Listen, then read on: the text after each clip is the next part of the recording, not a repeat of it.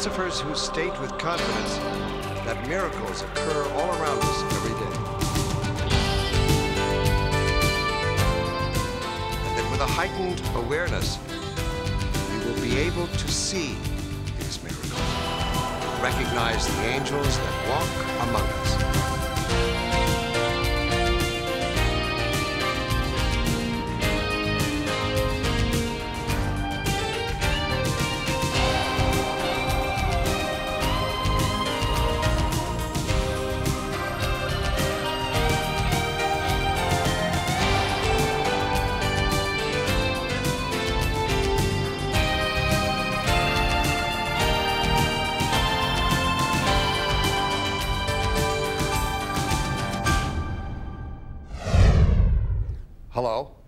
I'm Robert Culp.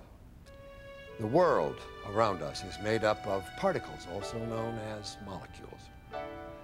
Water, for example, is comprised of two hydrogen molecules and one oxygen molecule, giving water the scientific label H2O. We can't see these molecules with the naked eye, so how do we know they're really there? They exist based on proven scientific theories, which we embrace. We see water, therefore we know a combination of molecules creates the water we see. Why can't we embrace miracles in the same manner? Some people have experienced miracles, yet many claim they don't exist. Do miracles happen in spite of our beliefs? Or because we believe in them? As you watch during the next hour, what do you conclude?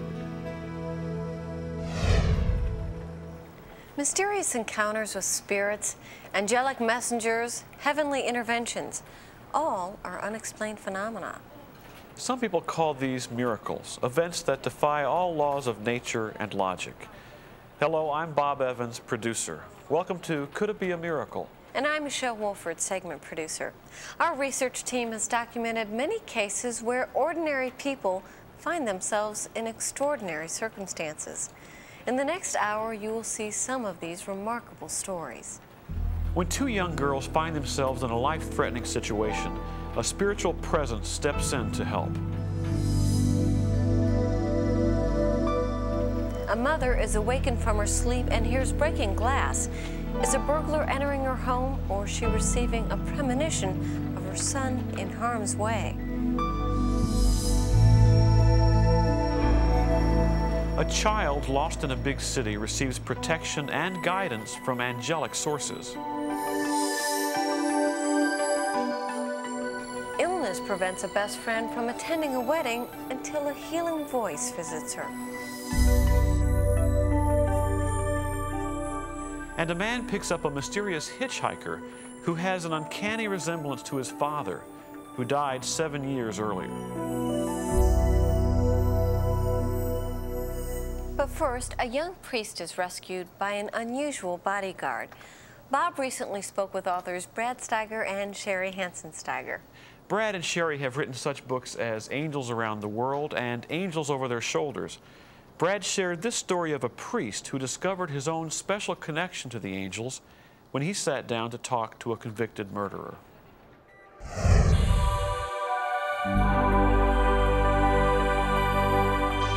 One of my favorite stories that has come to us uh, was one I heard uh, told many times by a man we call Father McGuire, but uh, a man who had served the cloth for many years.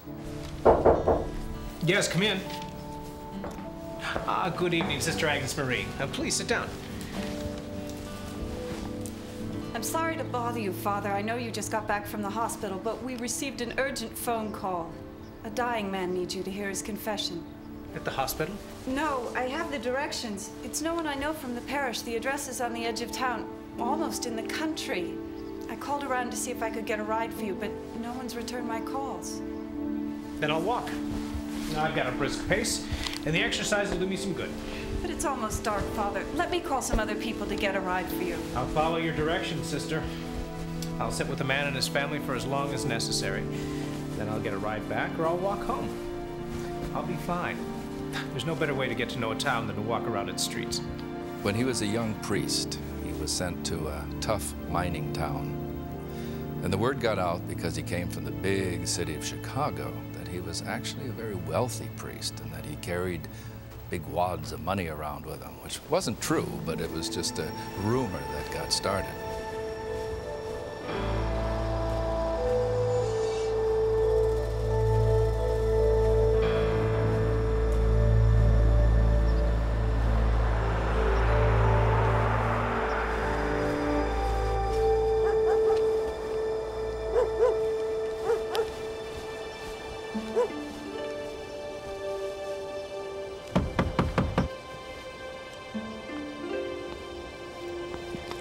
What is it?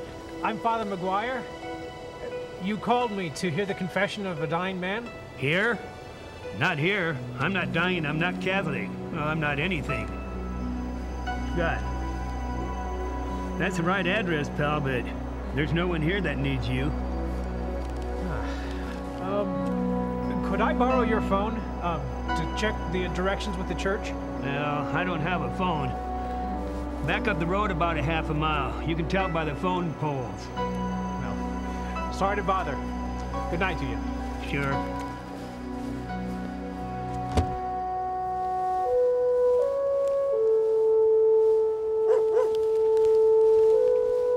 Well, now we have to fast forward many, many years, nearly 30 years later, and he gets a call that there's a murder on death row that wants to make a confession to him.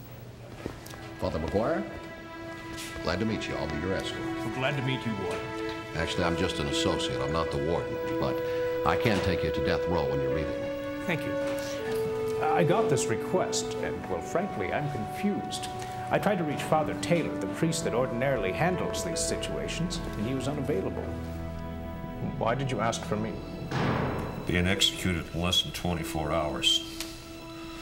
Told me I had a chance to see a preacher or rabbi, so that's why I sent for you. Uh, are you Catholic? Would you like me to hear your confession? No, I'm not Catholic. What good would it do for me to rattle off a list of the bad things I've done?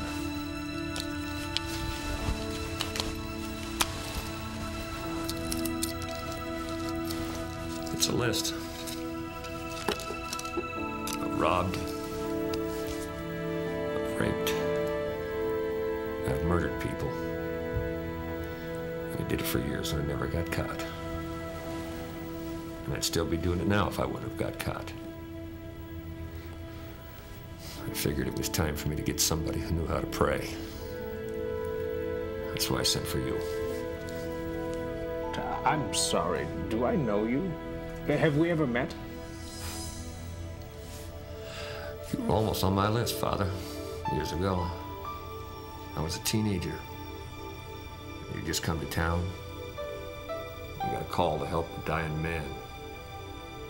Found yourself out on an isolated road. Remember? That was 30 years ago. Um, I'd almost forgotten. I made the call. It was a setup. I was hiding. I was gonna roll you and take your cash. I was a parish priest. I had maybe a few dollars. And the word was that you had lots of cash. Rich family in Chicago. I saw the way you were always handing out money to everybody else, and I figured I'd get some for myself. I didn't count on you having your friend with you. Friend? If this is the time that I remember, I was walking and I was alone. No. You had some big guy with you. No matter how I moved to get an angle, he always seemed to be looking straight at me. And then, just as he walked away, uh, he pointed at me. And then he disappeared. I don't know what to say. That's when I figured you were out of my league. I mean, you had a guardian angel on your side.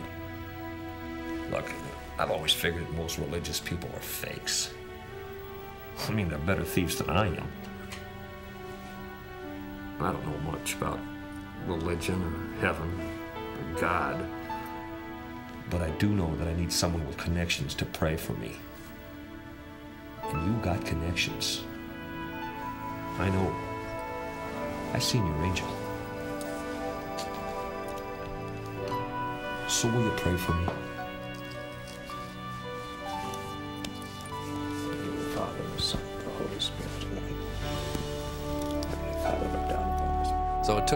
30 years before he heard what could have happened, what would have happened that night, but for his guardian angel. And at this point in the story, Father McGuire would usually tap his pipe and he'd say, and to all of you, I hope that your guardian angel is as big and burly as mine is. So, facing death, the killer sought forgiveness from the one religious man who he knew for sure was well connected because the killer had seen Father McGuire's guardian angel. It's too bad, having seen Father McGuire in the company of the angel, that the killer wasn't affected enough to change his own life. Our files indicate a consensus of experts agreeing that angels are messengers who reveal themselves with a purpose, but they do not interfere with our free will. The angel's appearance was enough to startle the killer and protect Father McGuire, but not enough to alter the life of the killer himself. After this break, a little boy lost receives help from heavenly sources. We'll be right back. Welcome back. Our next case involves a child who imagines himself a bit more independent and capable than he really is. His resulting adventure places him in need of some angelic assistance. As a parent, I can tell you that even the most watchful of us can get busy with household chores. You look up one minute and the child is right there. You look up the next and the child is gone, off on some plot in a play world. Usually they're just in the next room, but it can make your heart stop for a moment. In our next story, I interview Kelsey Tyler, a leading author on the miraculous. She wrote the book It Must Have Been a Miracle and told me this moving story of a lost little boy whose fate is interceded by angelic sources.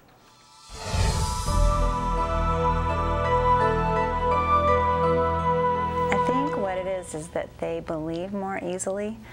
Um, they're they're precious and they're um, small and they're unprotected, and so they need their angels a little bit more maybe than adults do in some instances. But also, they're more apt to believe if they see an angel.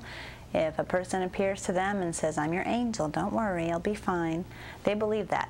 They don't look and think, "No," you know, like an adult would think. So I think they tend to see them more often. I think they tend to uh, be helped more often, and when they relate a story that happened to them, it's very simple to them. It's not necessarily extraordinary, it's just factual. An angel helped me. Come on, Randy, kick it to me. All right, I quit. I'm gonna take a walk. Mom!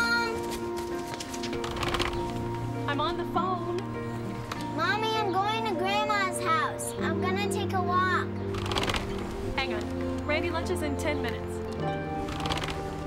She was on the phone, and like a lot of moms do when they're on the phone, she sort of motioned for him to be quiet and, okay, have a nice walk. Randy, Dustin, it's lunchtime. Where's Randy? He left. He took a walk to Grandma's.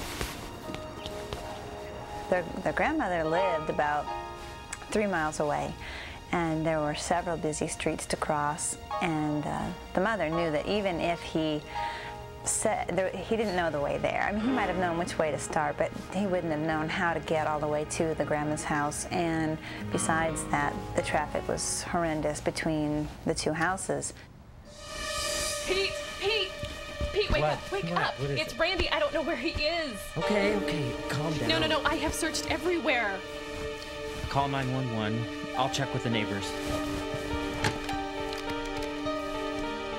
Yes, yes. I have lost my son. Uh, a police officer was dispatched, and the grandmother was called. And, you know, the mom explained that the little boy Randy was walking toward her house and could be anywhere between the two houses.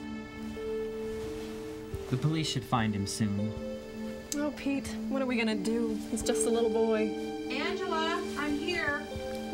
I'm so glad you're here. Oh, everything's going to be just fine. I just couldn't stand sitting around the house anymore. But if you're here, what if Randy comes to your house? It's all right. Millie's there. She said she'd call if there's any news. Oh, Mom, I've looked everywhere. why don't we go look just one more time? I think it's a good idea. I'll wait here. We'll find him. We'll be all right. Please, God, keep my little boy safe.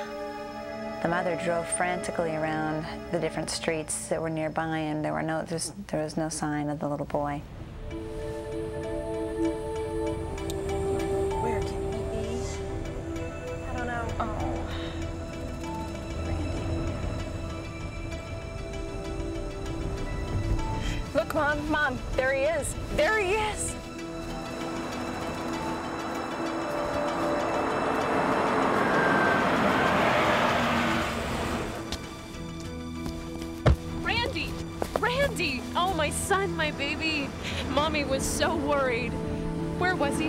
Find him? He was about to run into traffic. We just came to help him. Thank you for keeping my little boy safe. Thank you so much for watching out for him. It seems he wanted to go to his grandmother's, and we were going to make certain he got there. Come on, Randy, let's get going. There are a lot of people worried about you.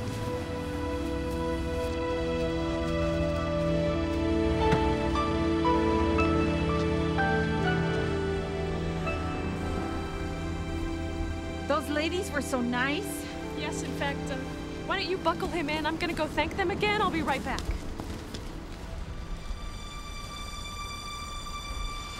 It's not a sign of him. How strange.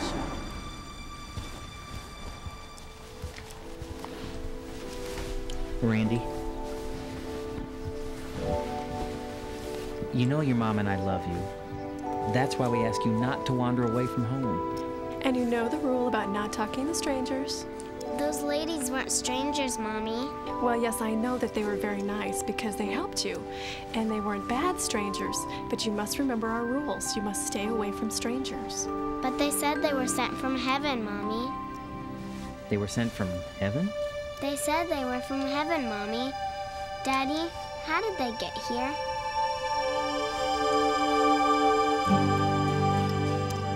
So, um, spoken again right from the mouth of the child, it was an angel who helped him. Our experts have investigated many cases which involve children who've been rescued with the help of an angel. Very soon we will dedicate an entire episode to the special bond between children and angels. We'll review our favorite stories and discuss the subject with our experts. Watch for that special show. We realize that as this show airs, there are hundreds of missing children and caring, concerned parents across this country. We hope that all those children are under the watchful eyes of guardian angels. We certainly do. Coming up, a young girl hears a mysterious voice that provides a healing power. Stay tuned for more miracles. Welcome back to Could It Be a Miracle? Bob, I think many of us can relate to our next story. It seems our lives come to a standstill whenever we get sick. Being stuck at home when you have an important place to be can be very frustrating.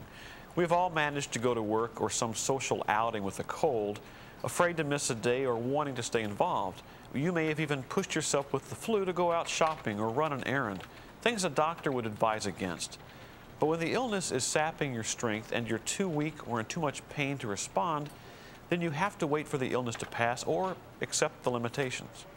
In our next story, a young woman promises her best friend to be at her wedding, but an illness prevents her from getting out of bed until she hears a spiritual voice. It was the morning of my sister-in-law's baby shower, and later on that afternoon and that evening was going to be uh, one of my best friend's weddings was taking place. And I was living in Manhattan at the time, and I had to go to Long Island to go to both of these events. And I had come down with this incredible flu. I had like all the symptoms, fever, headache, nausea. I was totally bedridden. 102? Oh, great. Just great. Why do I have to get sick now? No. Oh, even my nose hurts.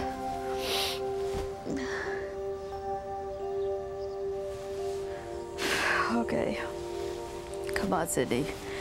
You gotta get up and get dressed. Stacy's counting on you, girlfriend. Oh, honey. You're not going to the wedding. You look awful.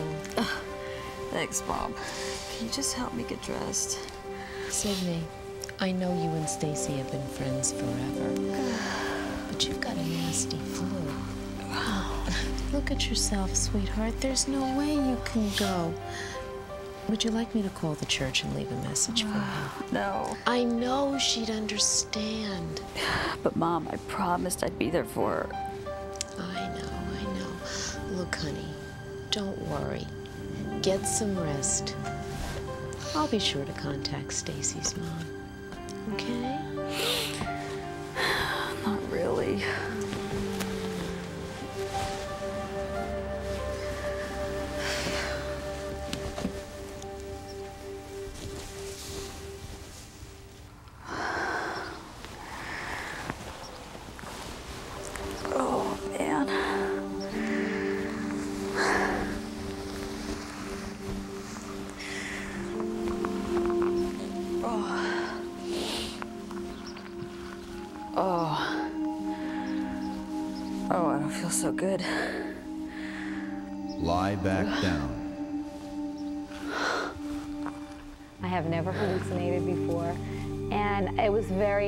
I knew it wasn't coming from inside of my head. And I knew it was nothing outside of me. There was no, nobody in the apartment and nobody, you know, around outside the window or anything. And I heard this very distinct voice. Hello? Lie down on the bed. Maybe I'm sicker than I thought. Sydney, lie down on the bed.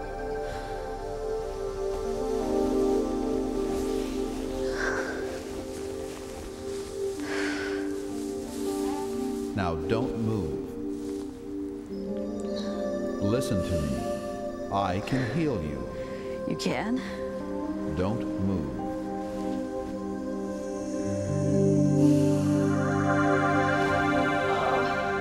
Stay still.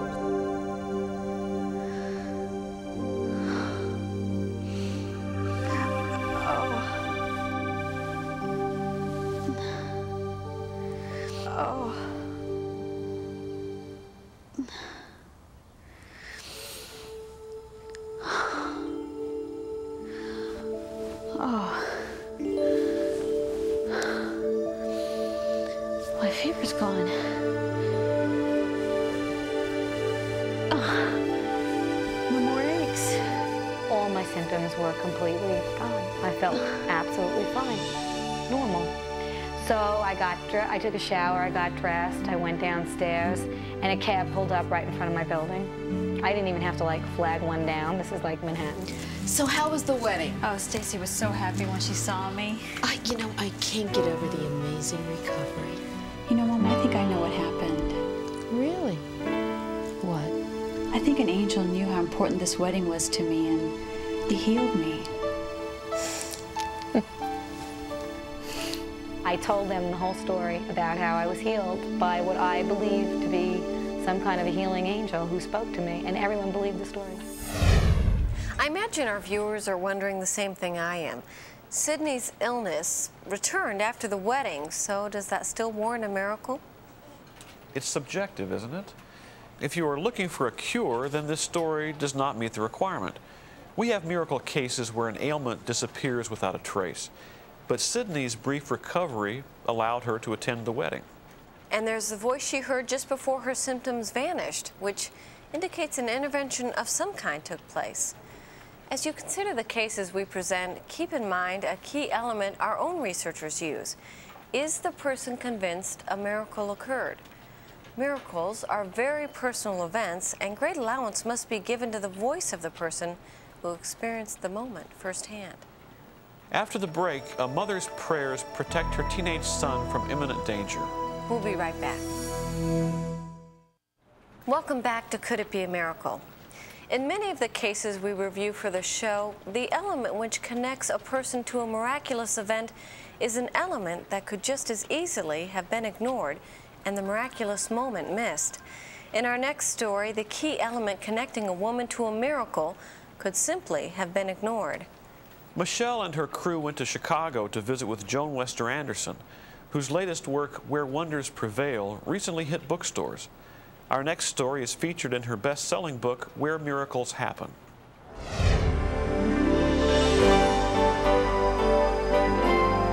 Sometimes prayers can be very powerful as a protective aid as well.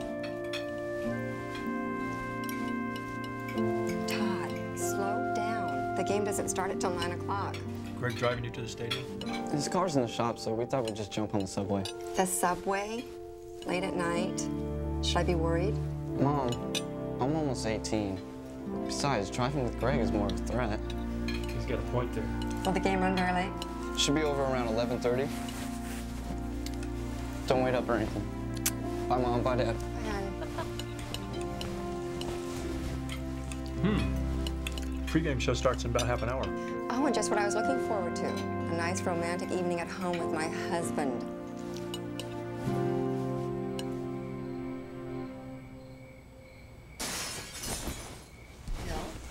Hmm. Honey, wake up. What? I heard something. It sounded like glass breaking. I think somebody might be trying to break in. Well, we have the security alarm. Maybe the security alarm's not working. Maybe we should call the police. Call him just yet. I'll have a look around. All right, I'm gonna come with you.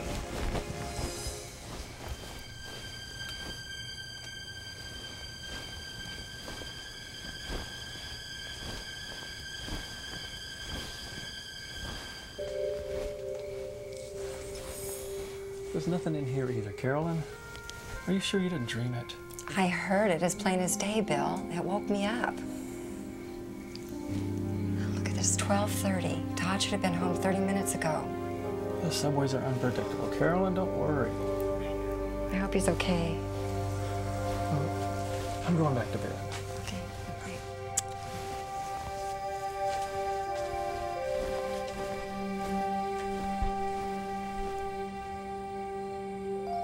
As she sat in the kitchen, she began to pray for him. She prayed and prayed. She put a ring of protection around him, sent angels to him. The more she prayed, the more urgently she felt she needed to pray. And uh, she looked at the clock. Uh, by the time she was finished praying, it was about one. And she felt kind of a release, and she went back to bed. Bill, there's somebody at the door.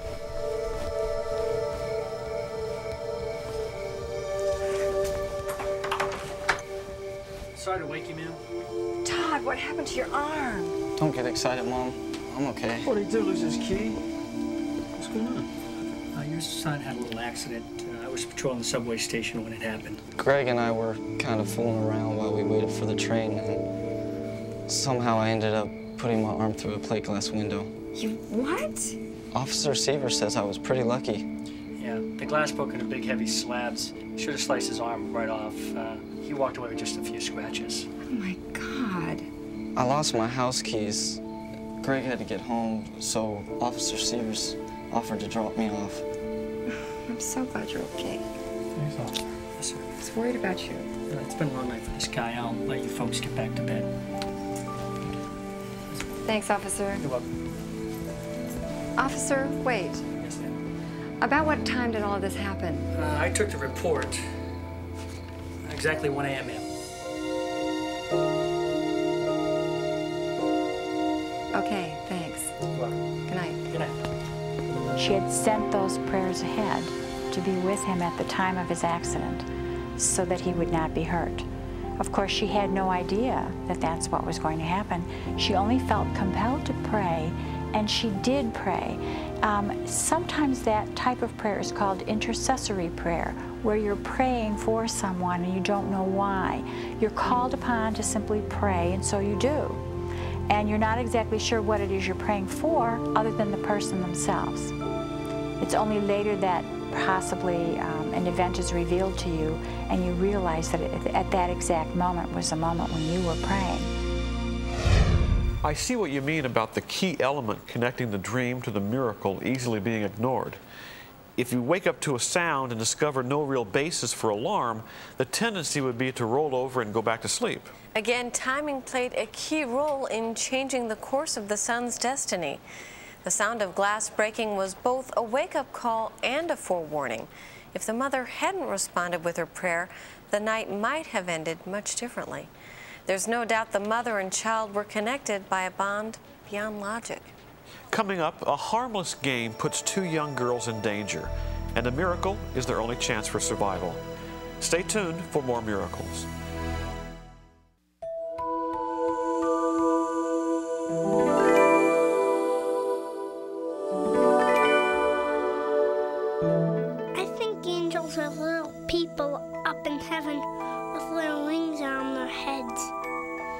That fly around, that watch over us.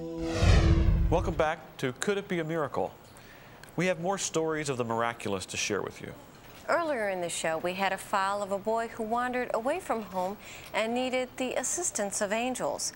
In this case, two little girls playing in their basement on a stormy day innocently placed themselves in grave danger.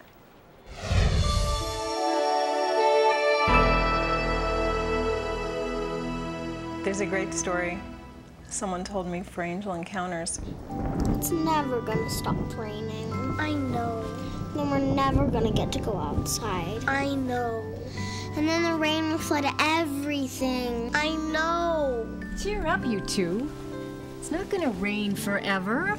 I know. I'm making some brownies. Will that help? Why don't you two find something to do while they're in the oven? Like what? Oh, there's plenty to do. Just use your imagination. When it rained real hard once, my aunt's basement flooded. Really? I wonder if our basement floods. Let's look. Okay, we'll need some flashlights, just in case the power goes out.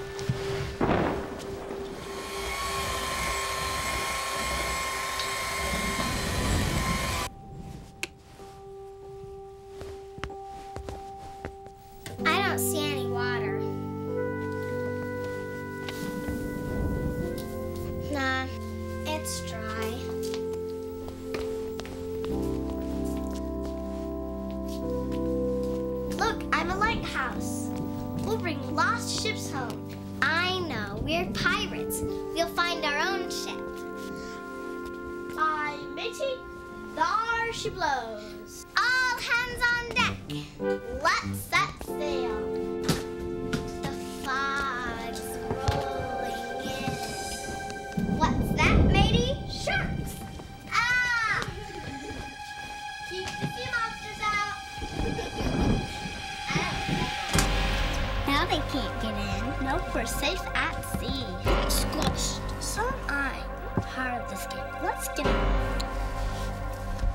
I'm stuck. Help me push.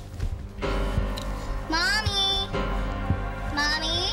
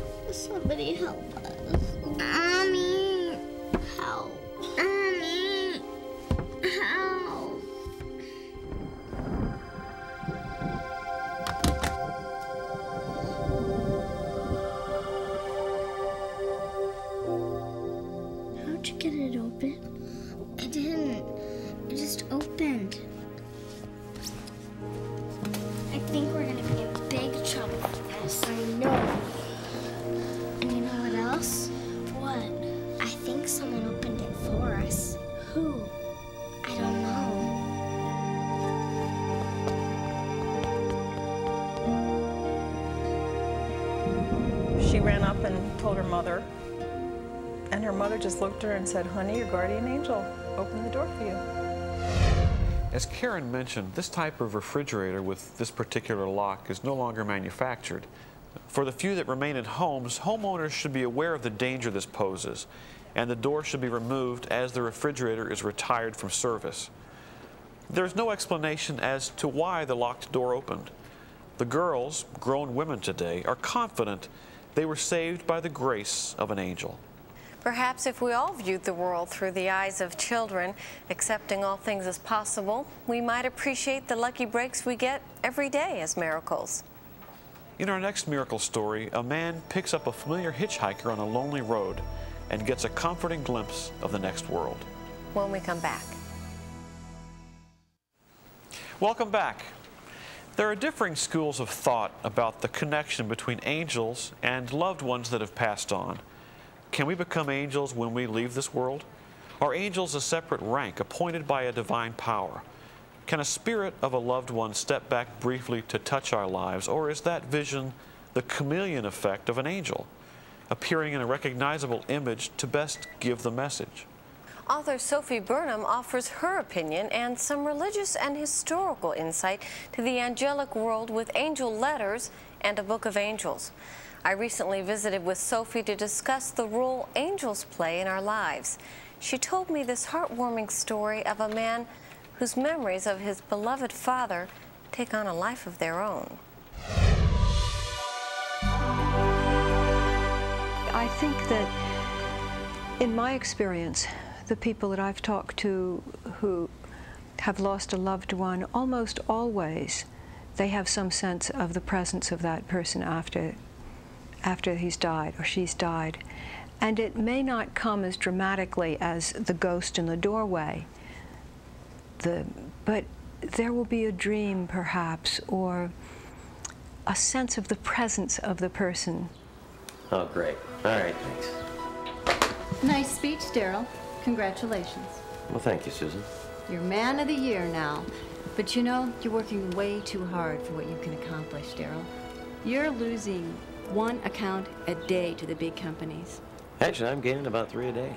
of course, I even get some back from your boys. I think those customers miss that personal response. Sell your company to us, Daryl. It would mean a lot of money for you. I don't think so, Susan. Still trying to hang on for the sake of your dad? Hey, he was a great guy. He gave me my first job in the business, but he's been dead, what, five years? The business has changed. If your dad were around, he'd tell you to sell your company to us where you can still make a profit. Actually, Dad's been gone about seven years. Boy, do I miss him. But if you were here, I think you'd really listen to me and kind of let me sort things out on my own. And then he'd just smile and nod. Don't hang on to it just for the memory. I'll think it over, Susan. Just nice to see you. I believe that on this particular day he was thinking about his father, but he was driving on uh, not the highways, but the twisty roads, the byways, and there was a hitchhiker looking for a ride. He passed the hitchhiker, he says in his story, and stopped the car and watched him approach in his rearview mirror. Dad? Possible.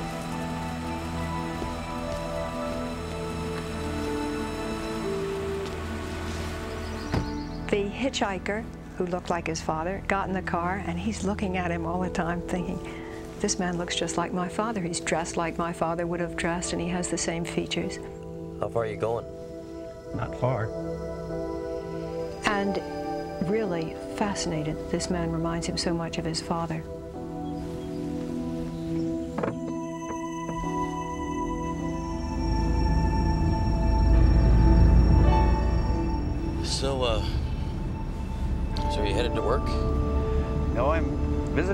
Son. He needs me.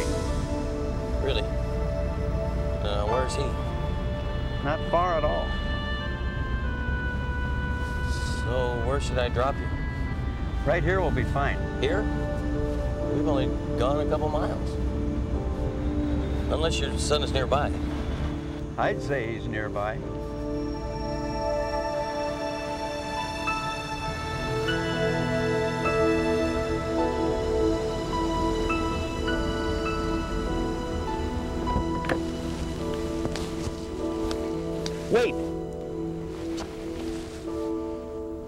Your name? Thanks for the ride. Please, take care of yourself.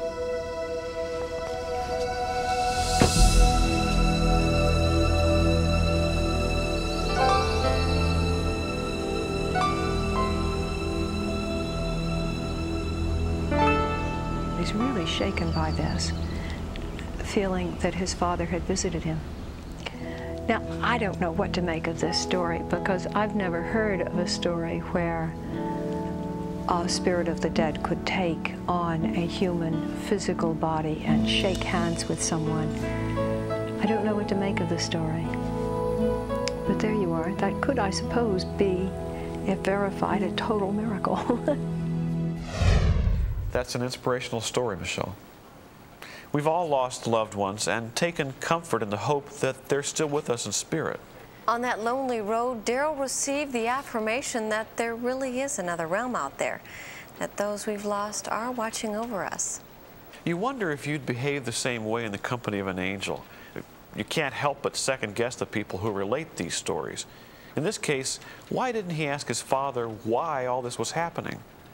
People who experience these events tell the same story. During the actual event, they were at total peace. They thought of a thousand questions to ask later.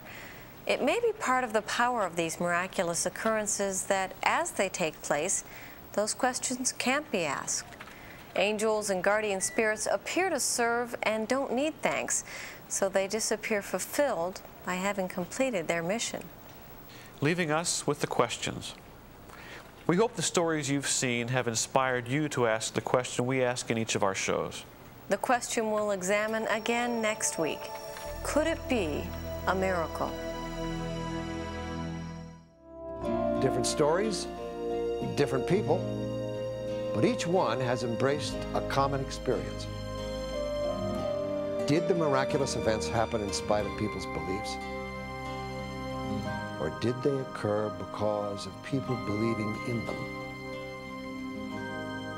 Could it be a miracle?